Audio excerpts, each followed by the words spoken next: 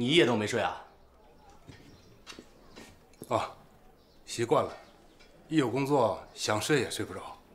对了，名单真别出来了吗？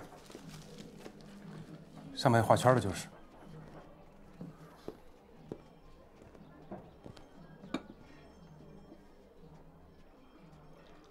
八个人。对，这八个人我认识，跟陈忠是一批的。这上面有举报陈忠的那个人，看来他们确实是顾县章的人。举报陈忠？这么说，陈忠被我们抓过？是，但是后来让他给跑了。好，这情报太好了，对我们非常有利。这八个人加上陈其忠，一共是九个，那剩下的那个就是老 A。是啊，我想了一夜，就是没想起这个老 A 是谁。其实，如果不是前几天我见过陈忠，这八个人，我很难把他串成一串。那你想一想啊，这个老 A 他有什么特点没有？要说特点，他们都给我学过发电报，以前都做过发电报有关的工作，也许现在不是了。你的判断和分析，我会向首长汇报的。梁亲母子的下落还得烦请你去寻找啊！我已经展开调查了，一有结果马上汇报。那既然这样，冯立同志，那我先告辞了。哎，等等。你说陈忠被我们抓过是什么时候的事儿？一九四三年。一九四三。老袁在这儿死了，很麻烦。我和基地的同志会有危险，这样。你帮我写个纸条，我说你写。好，哎。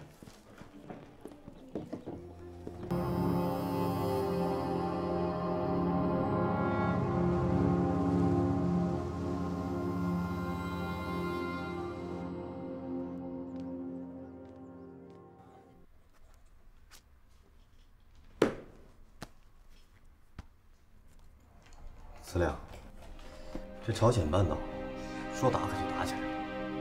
咱们电报组现在往来电报太多，已经忙不过来了。别跟我兜圈子，你是想要回汪兰？不行，天下一号小组根本就没有什么事儿啊。再说，马兰还太年轻，老是出岔子。哈哈，不说这些了，我自有安排。郑东啊。你追汪兰追了这么久，还没死心？司令，感情这种事儿是神圣的，在我心里就像信仰。它跟孙先生的三民主义一样，不是说放弃就能放弃的。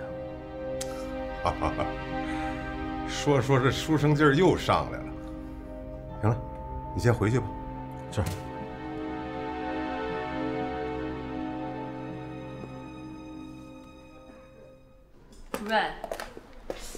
设备管理有问题啊！哦，说说看。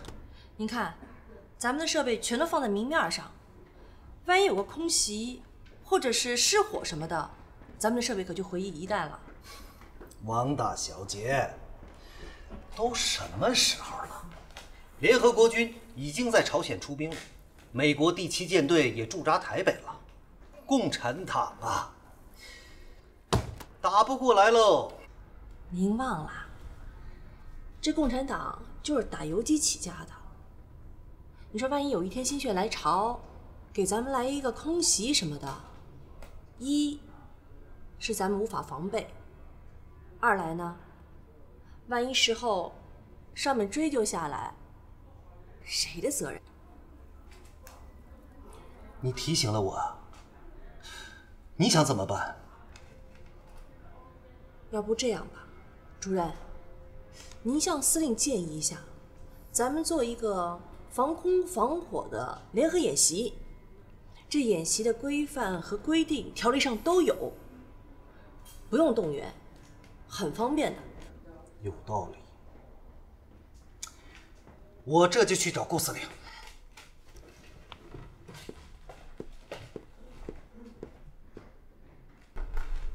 演习。谁出的主意啊？王兰。嗯。啊，不不，呃，是他提醒了我。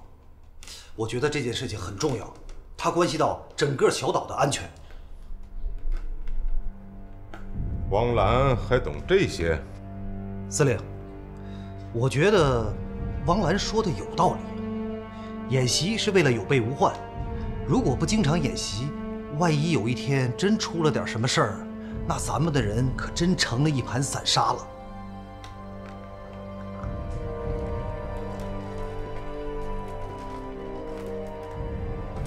啊，就组织一次。是，我马上就去安排。嗯。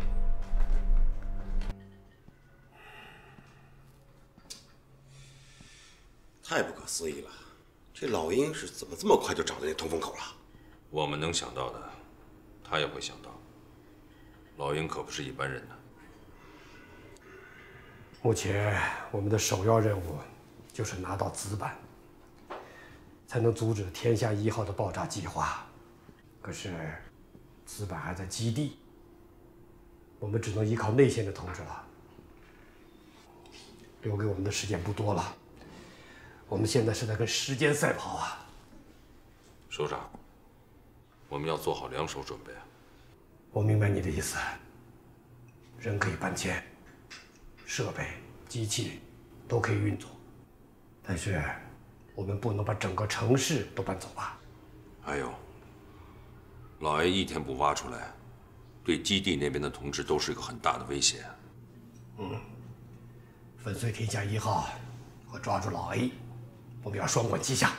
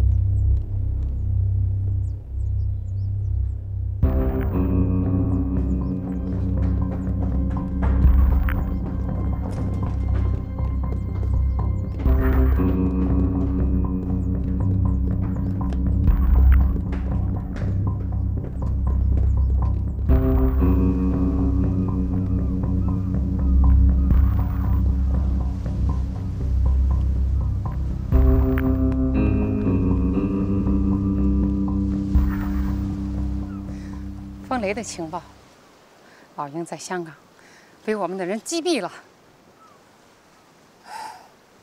基地上少了一个对手，重庆方面紧急需要天下一号的资板，咱们要尽快弄到手。可你一个人，这风险也太大了。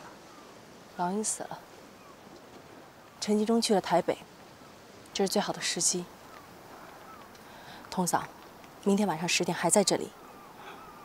如果十点半之前我还不来的话，就可能有危险了。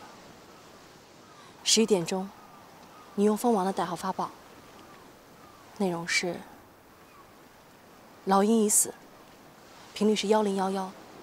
这个频率是谁的？没用过呀。天下一号小组的。一定要记住，发完报之后，把电台扔到海里去。哦，我明白，你是先让敌人内部先乱起来，可是这样。能掩护你脱身吗？我也不知道。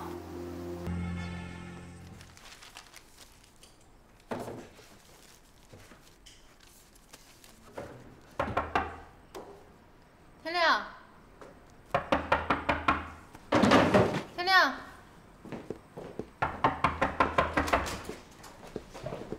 你干什么呢？我敲了半天也没有人理我。我给你热了碗粥，你趁热喝。什么时候了？你还工作？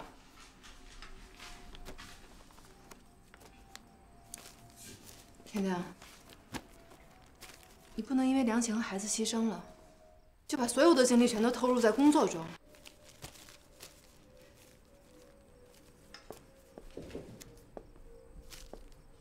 你应该好好考虑一下你自己以后的生活。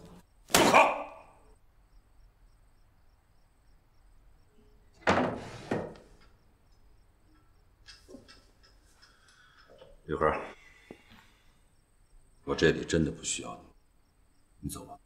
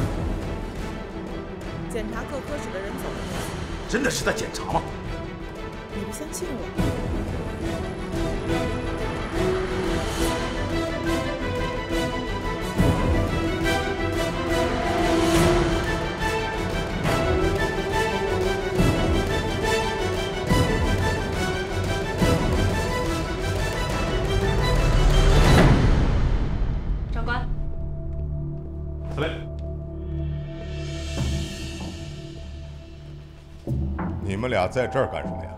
报告司令，检查演习成果。你呢？报告司令，按保密条例，如发生意外情况，作为保密室主任，我必须最后一个离开保密室，并有权销毁任何文件。你们俩谁先到的？报告司令，我先到。把保险柜打开。司令，我没带钥匙。保密室主任不带钥匙。嗯，报告司令，防火防爆演习规定，随身不许携带铁器，以免灼伤。我个人认为，这次演习非常成功。空袭演习要求我坚守保密室岗位，防火防爆演习要求我不能携带钥匙。两个演习同时进行，这让我没有了预案，达到了演习目的。如果空袭着火了，你怎么办呢？报告司令，销毁保密文件，然后撤离。撤离不了，就殉国。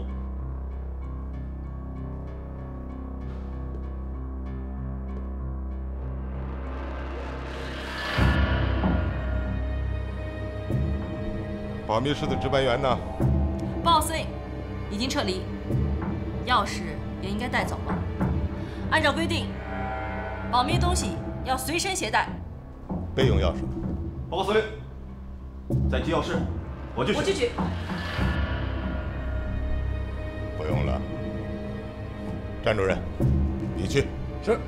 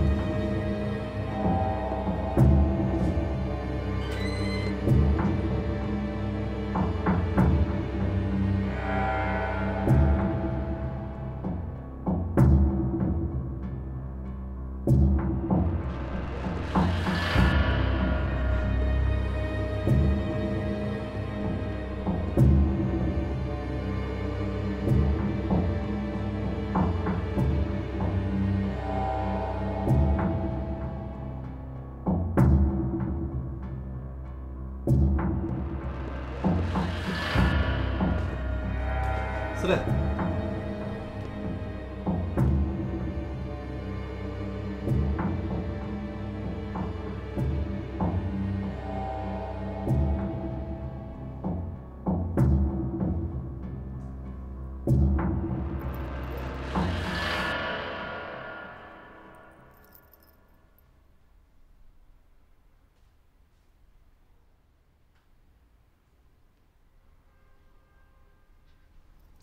演习结束，王兰，你回去写演习报告。是。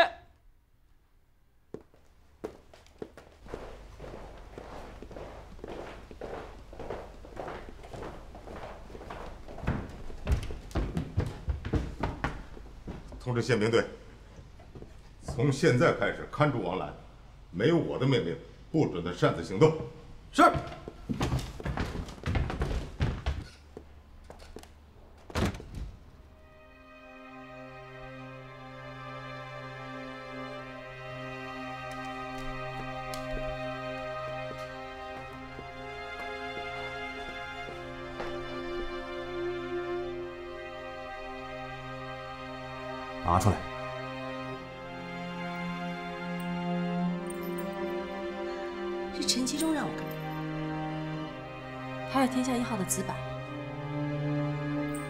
陈其忠要死板干什么？基地和天下一号是一家，想要死板还用这种方法？恐怕共产党想要死。你觉得我像共产党吗？我不希望你是共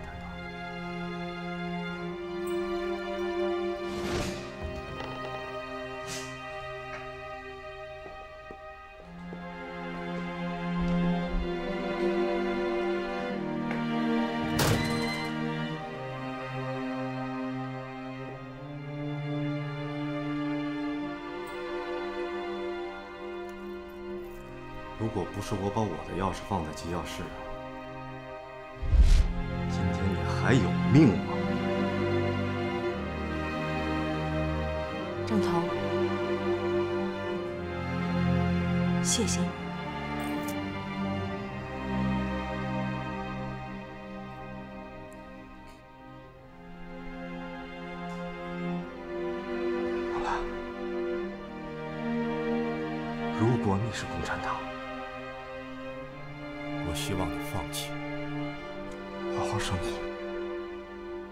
现在已经不是几个月前了，共产党的队伍全都调到了朝鲜半岛，没有人能打回来了，也没有人能接你离开这里。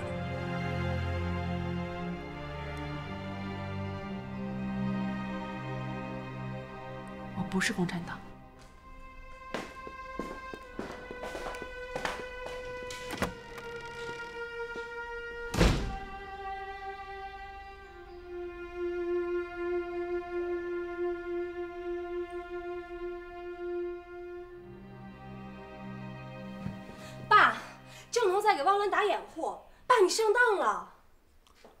枪给我，爸，给我。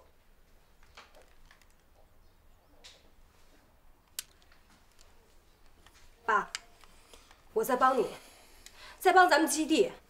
我不能让你有危险，这儿还有我呢。爸，过两天，我安排你和你妈离开这儿。我哪儿都不去。我是你女儿，我要和你在一起。有你这句话，我就满足了。现在谁也帮不了我，只能靠命运了。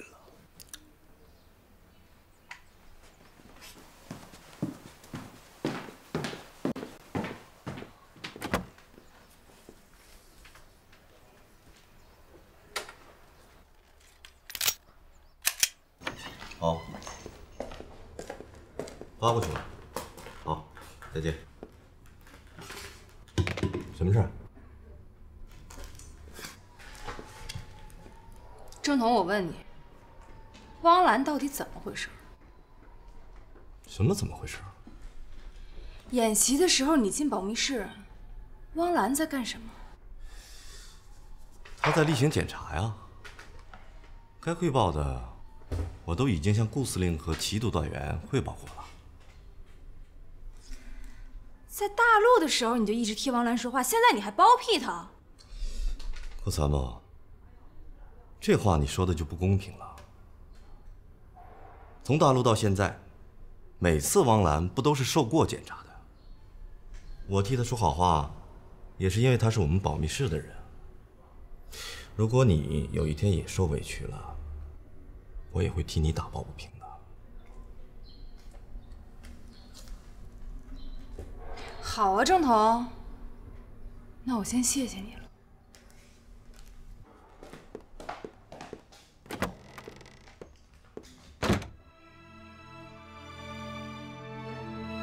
此时此刻，王兰不清楚自己的处境。保密室钥匙事件显然蒙骗了顾显章一时，但他对自己的怀疑是显而易见的。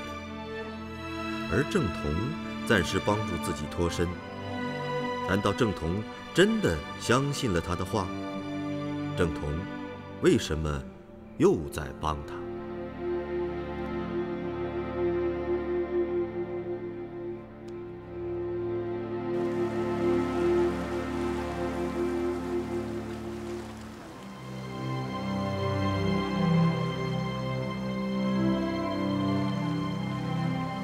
如果十点半之前我还不来的话，就可能有危险了。十一点钟，你用蜂王的代号发报。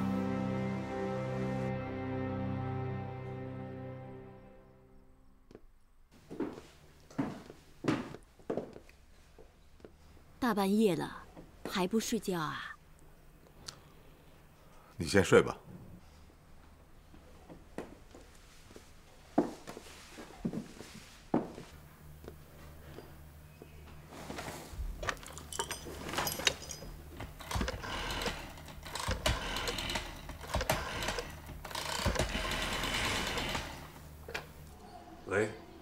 是我呀。老师，这么晚了您还没睡？风雷和汪兰的事有什么进展吗？我还在等消息。好，明天必须回来，这边有情况。是。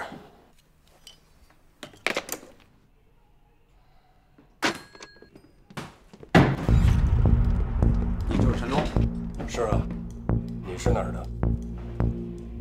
啊，宪兵队的呀。答对了。有何贵干呢？跟我们走一趟吧。带走。这位兄弟，您这是什么意思？我就不懂了。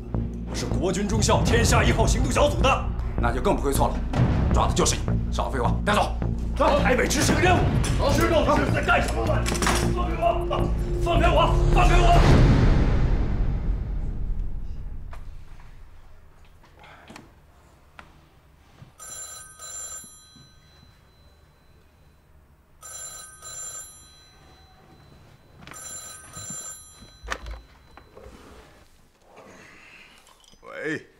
顾司令，是我，齐军。齐长官，这都大半夜了，什么事儿啊？大事儿，大事儿。什么大事儿？慢慢说啊，别着急。大事不好了，是不是王兰的事儿啊？老鹰被杀了。什么时间？在什么地方？具体情况我也不知道，只是天下一号小组电台收到一份电报，说是老鹰被杀。到底是真是假，我也不知道。哎呦，我的齐长官，你想想啊，天下一号行动小组接了一份电报，说自己的长官被杀了，可能吗？说梦话呢吧？太滑稽了。一点也不滑稽，发报人是蜂王。蜂王。